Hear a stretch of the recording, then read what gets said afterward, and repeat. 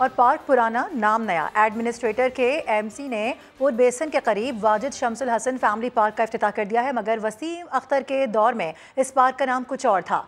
माजरा है क्या? बता रहे हैं हमारे नुमाइंदे मुदसर नजीर। मुदसर बताइएगा।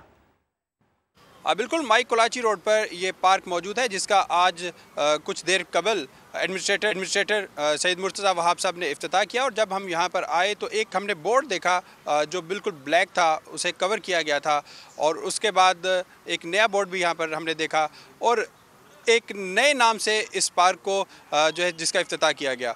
तो हमने जब इस मामले को जानने की कोशिश की तो इलाका मकीनों ने बताया कि ये खलील शहीद पार्क के नाम से मंसूब किया गया था। तो 2010 गढ़ पर यह पार्क बनाया गया था और इसकी तीन दफ़ा रेनोवेशन हुई और ये इसकी इतनी खस्ता हालत भी नहीं थी जिसे आज दोबारा रेनोवेट किया गया। पहले ये खलील भाई नाजिम थे यहाँ के वहाँ से जीते थे एम पाकिस्तान से। खलील भाई जो है बम धमाके में जिन अस्पताल में शहीद हो गए थे उसमें नूर अली भाई भी शहीद हुए थे।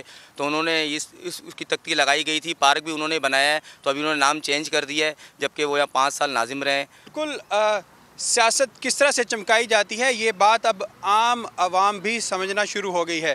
तो शहर में जो मुख्तलिफ़ पार्कस हैं, उनको दोबारा रेनोवेट करके नया नाम दिया जाता है, जिस पर शहरी भी बहुत ज़्यादा नाला हैं।